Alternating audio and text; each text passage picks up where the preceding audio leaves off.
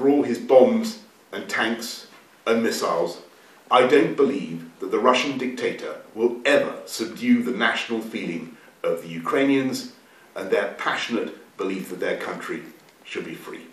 Nous avions anticipé ensemble cette crise. We had anticipated this crisis together by conducting a demanding dialogue and alongside our allies and European partners. Nous avons tout We have done everything to avoid it. It is there and we are ready. et nous sommes prêts. To this act of war, we will respond without weakness, with cold blood, determination and unity. Détermination et unité.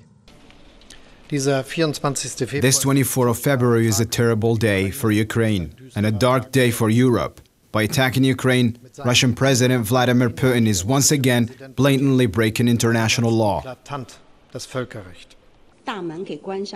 We hope that all parties concerned will not close the door of peace, remain committed to the dialogue, consultation and negotiation. We send a clear message to the Russian government that we demand an immediate end to the hostilities and withdraw the recognition of the independence of the territories of another sovereign nation, Ukraine. We are now progressing uh, the second phase of those financial section, uh, sanctions.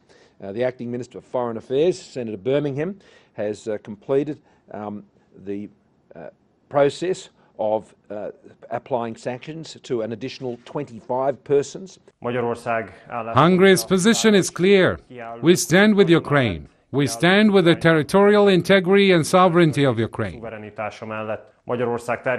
Naturally, even today, Hungary will participate in all kinds of discussions with our allies, which aim to decide on a coordinated response and reaction. The Ministry of Interior is preparing the need to welcome refugees to Finland.